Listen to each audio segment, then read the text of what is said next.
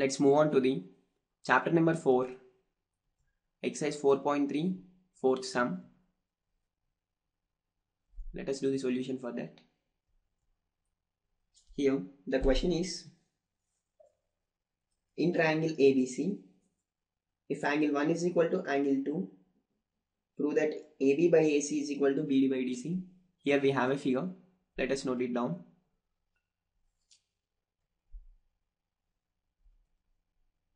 Here he has given a triangle ABC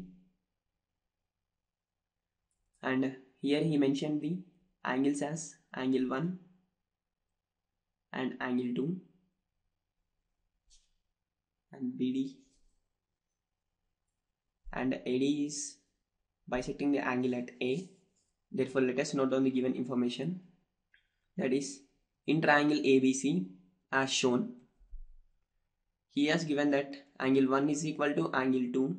Therefore, we can say that AD is the angular bisector and he asked us to prove that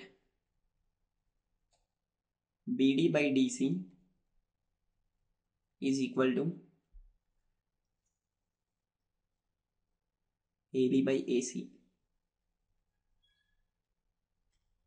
Now moving on to the proof. Let us draw a line. CE which is parallel to AD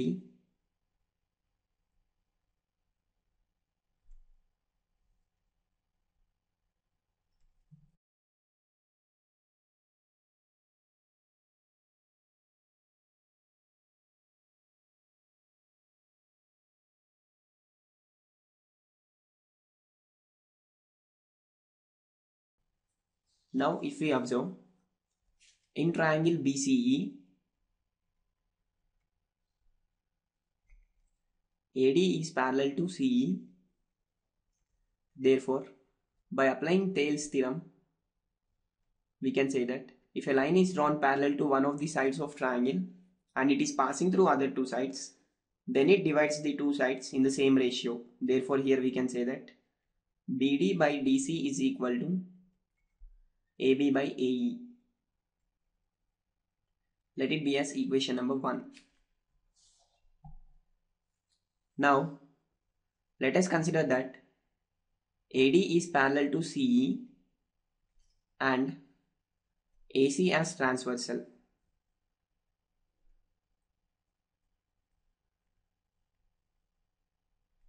Let us name the angles at C and E as angle 3 and angle 4 respectively. Then if we consider AD is parallel to CE and AC as transversal, then we can say that angle 2 is equal to angle 3 since they are the alternate interior angles. And again, if we consider AD parallel to CE and BE as transversal, then angle 1 is equal to angle 4 since they form the corresponding angle pair.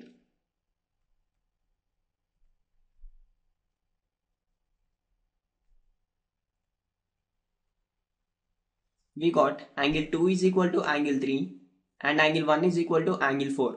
But we have that angle 1 is equal to angle 2. Therefore, we can say here that angle 3 is equal to angle 4. As we got here that angle 3 is equal to angle 4 we can say that triangle AEC is an isosceles triangle.